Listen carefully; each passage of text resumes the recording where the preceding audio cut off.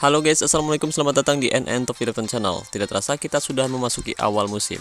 Dan hari ini adalah pekan pertama kompetisi Cup. Dan kita sudah memasuki lawan yaitu Sony FC Saat baru saja pengundian, saya melihat Sony FC hanya memiliki mutu sekitar 70 persenan guys. Dan mereka sangat cepat sekali berkembang. Belum genap satu hari, mereka sudah memiliki mutu 109% guys. Dan setelah saya cek ternyata mereka baru saja membeli atau memborong semua pemain intinya guys. Alhasil mutunya sekarang sudah meningkat di angka 109% guys. Perbandingannya cukup jauh dengan tim saya. Tim saya hanya memiliki mutu 70%an guys. Jadi jika dibandingkan selisih mutunya sekitar 30% dengan tim saya FC Buteng. Oke guys, tim asal Albania ini memiliki kualitas yang sangat baik di pekan pertama kompetisi Cup dan mereka menggunakan formasi 22132 atau kita sebut saja 4132 Oke persiapan tim saya tidak cukup bagus kondisinya tidak cukup baik untuk uh, melakukan pertandingan ini. Tapi kita akan coba dengan kualitas mutu yang biasa-biasa saja melawan kualitas mutu yang luar biasa. Apakah tim saya berhasil mengalahkan Sony FC kita simak baik-baik video ini sampai selesai dan buat teman-teman yang penasaran bagaimana cara saya mengatur taktik, strategi, dan formasi saat pertandingan, oke simak video ini baik-baik hingga selesai. Dan buat teman-teman yang belum subscribe, silahkan subscribe terlebih dahulu agar teman-teman selalu terupdate terbaru dari NN Top Channel. Oke guys, kamu bisa lihat di sini mutunya 109 berbanding 70,9 persen, eh, sangat jauh dan kualitas mutu rata-rata tim saya juga di angka yang tidak cukup bagus guys, karena saya belum eh, mempersiapkan tim. Saya biasanya mempersiapkan tim di pekan ketiga saat kompetisi liga berlangsung guys.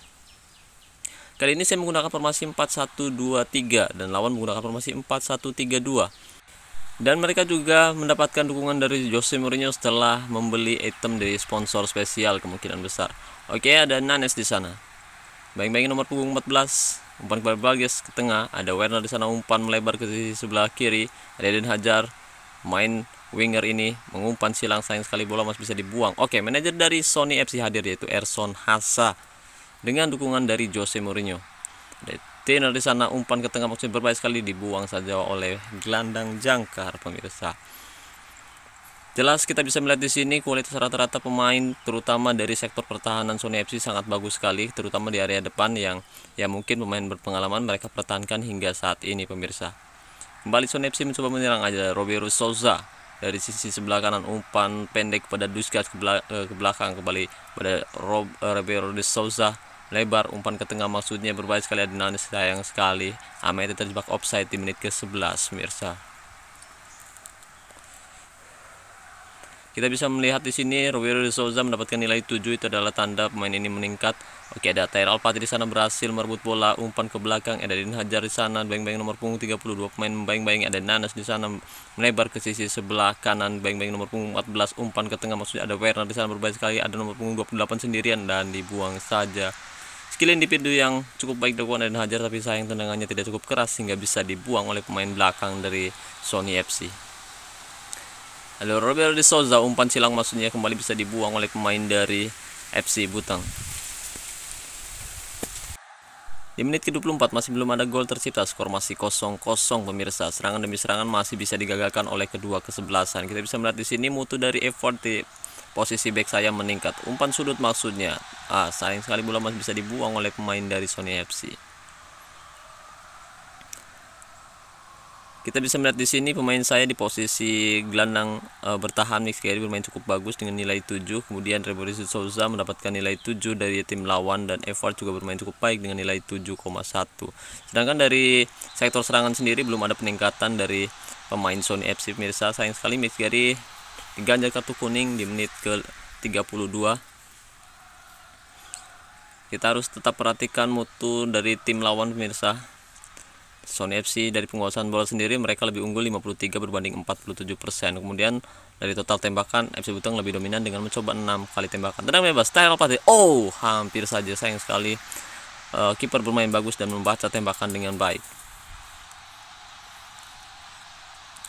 Kita harus tetap perhatikan mutu tim lawan dan mutu tim kita sendiri kita agar tahu bahwa pemain mana yang bermain tidak cukup bagus saat pertandingan berlangsung pemirsa. Kita bisa melihat di sini Orbit Runes mendapatkan nilai 7 itu tandanya pemain ini sudah mulai meningkat dan bermain cukup bagus. Ada Alvarez di sana berbahaya sekali pemirsa apakah terjadi gol dibuang saja oleh Timo Werner.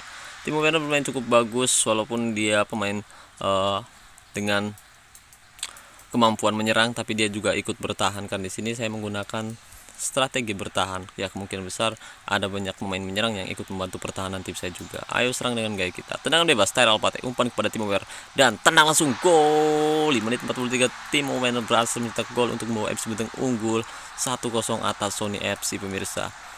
Tendangan bebas yang cukup baik umpan yang akurat dari Tyrell Pate berhasil diselesaikan dengan baik oleh Timo Werner. Akhir babak pertama dan kita bisa melihat di sini. Oke, Pemain terlemah dari Sony FC yaitu Tiner di posisi back tengah dengan nilai 6,7 sedangkan penjaga gawang dari Sony FC bermain cukup baik dengan nilai 7 dan kita bisa melihat di sini Telapati mendapatkan nilai 7,0 dari sektor gelandang pemain FC Buteng juga bermain cukup bagus meskipun mutunya hanya bintang 2 kita bisa melihat di sini bintang 2 dan bintang 3 oke pergantian pemain Eden Hajar bermain cukup bagus. Kita bisa melihat di sini. Oke gagal sorry kita akan ganti pemain di menit 60-an aja. Hari ini kita lihat gameplaynya terlebih dahulu ada Tyrell Pati menggiring bola umpan kepada Timo Werner. Baik-baik nomor 4 sayang sekali bola masih bisa dibuang oleh pemain dari tim uh, Sony FC ada Nanas umpan ke sisi. Ada Evart di sana. Alvarez umpan kepada Ahmeti. Berbahaya sekali. A dibuang saja oleh pemain dari Sony FC eh, dari FC Butang maksud saya Serangan demi serangan dari FC Buteng berhasil digagalkan di babak kedua ini pemirsa. Menit 50 masih belum ada gol tercipta. Skor masih 1-0 untuk keunggulan FC Buteng untuk sementara. Oke sekarang kita waktunya mengganti strategi dari 4-1-2 3 berubah menjadi 4-2 1-3 eh, kita akan coba menggunakan taktik dan strategi menyerang seperti ini. Kita coba modal nekat pemirsa memasukkan uh, memasukkan penyerang false nine di posisi gelandang serang tengah. Kita bisa melihat di sini. Oke. Okay. oke okay guys untuk sementara taktik dan strateginya kurang lebih seperti ini. Kita akan lihat prosesnya terlebih dahulu. Nanti saya sebutkan taktik dan strategi apa yang saya gunakan. Oh sayang sekali Fisher terjebak. Offside Oke, saya menggunakan mental tim bertahan, fokus umpan bawah kedua sayap, gaya mengumpan panjang, serangan balik menyala, gaya tekanan rendah, gaya tekal mudah, gaya penjagaan, jaga daerah tertentu, dan jebakan offside mati. Kita ulangi lagi, saya menggunakan mental tim bertahan, fokus umpan bawah kedua sayap, gaya mengumpan panjang, serangan balik menyala, gaya tekanan rendah, gaya tekal mudah, gaya penjagaan, cegah daerah tertentu, dan jebakan offset mati. Oke, serangan demi serangan dari FC Butong masih bisa digagalkan, skor masih 1-0 di menit ke 67. Wah, di sini saya mendapatkan banyak dukungan dari teman-teman, terima kasih banyak.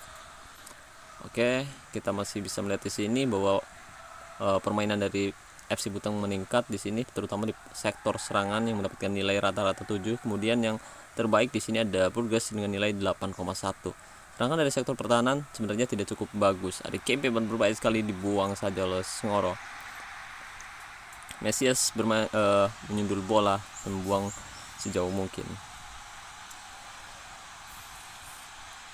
Burgas pemain yang saya datangkan dari lelang sebenarnya ini pemain yang sudah cukup tua guys. Hanya untuk mengisi kekosongan saja karena saya sedang mencari pemain di posisi tersebut guys. Ada sih sebenarnya tapi saya tidak tertarik dengan statistik yang uh, dia miliki di musim lalu. Akhirnya saya mencoba membeli satu pemain di uh, lelang yang umurnya sudah cukup tua yaitu 30 tahun.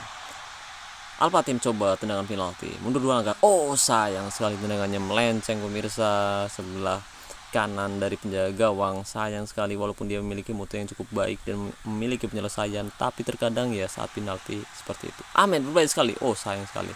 Untung saja ada dia yang berhasil memblok tendangan dari uh, serangan dari Sony FC ada Nones menggiring bola umpan ke belakang ada Burgess di sana melebar ke sisi sebelah kiri ada Sangoro umpan uh, kepada Sales di sana dia sendirian di main nomor 4 cukup tuh tenang langsung dan oh sayang lagi-lagi bola melebar di atas Mister gawang Sony FC Oke di sini saya mengucapkan terima kasih banyak buat teman-teman yang sudah hadir di pertandingan ini dan mendukung tim saya FC Butang. Ini adalah pertandingan yang cukup menarik karena mutu lawan memiliki kualitas yang jauh lebih unggul daripada tim saya FC Butang. Umpan melebar ke sisi sebelah uh, kanan ada Nanes di sana dua main punggung 9 umpan silang maksudnya tidak cukup baik masih bisa rebut oleh Kampian. Oke kita bisa merubah fokus umpan dari bawah kedua sayap coba lewat tengah kita lihat apakah ada hasil di akhir babak kedua ini pemirsa. Ada Sangoro di sana umpan kepada officer yang memiliki penyerang false nine. Berbahaya sekali dibuang lagi oleh pemain dari Sony FC Prapi membersihkan bola ke sisi lain lapangan. Mungkin kita bisa melihat di sini manajer dari Sony FC mulai frustasi karena mutunya yang tinggi tidak bisa mengalahkan tim yang mutunya rendah. Bersama tim Movena berbahaya sekali sudah tendang langsung oh sayang sekali Scotty berhasil menangkap split pundak dengan baik dadanya. Pertandingan berakhir skor 1-0 untuk kemenangan FC Butang. Dan kita bisa melihat di sini bahwa mutu pemain terkadang ya mutu besar tidak selalu membawa tim kamu selalu menang. Taktik dan strategi dan keberuntungan yang menentukan kemenangan tim kamu guys. Oke Uh, sekali lagi persiapan tim sebelum pertandingan sangat penting. Kita bisa melihat sini kita menang meski moral mereka lebih tinggi. Mereka memiliki kualitas yang bagus dan moral mereka jelas fire setelah mereka mendatangkan pemain-pemain baru dari lelang ataupun dari pusat transfer lainnya guys. Dari penguasaan bola sendiri saya lebih unggul 51,49% mungkin karena saya memiliki banyak dukungan dari total tembakan.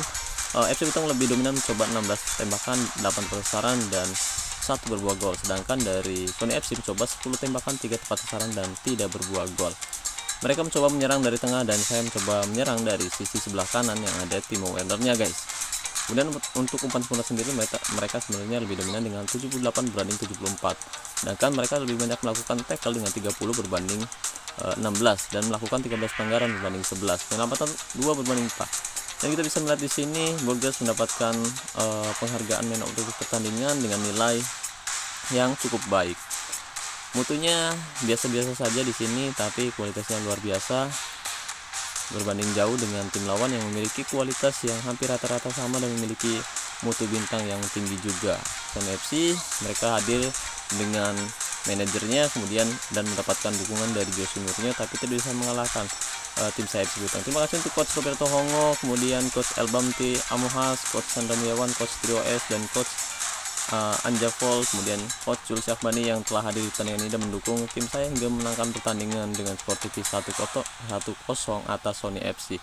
Oke terima kasih banyak buat teman-teman yang sudah menonton video ini sampai selesai. Alhasil tim saya berhasil memenangkan pertandingan di leg satu kompetisi cup uh, musim ini melawan Sony FC dan mudah-mudahan di leg kedua tim saya berhasil mengalahkan Sony FC agar lolos ke babak 32 besar guys Oke, okay, Jonathan Matias, Johan Matias dapatkan bintang satu.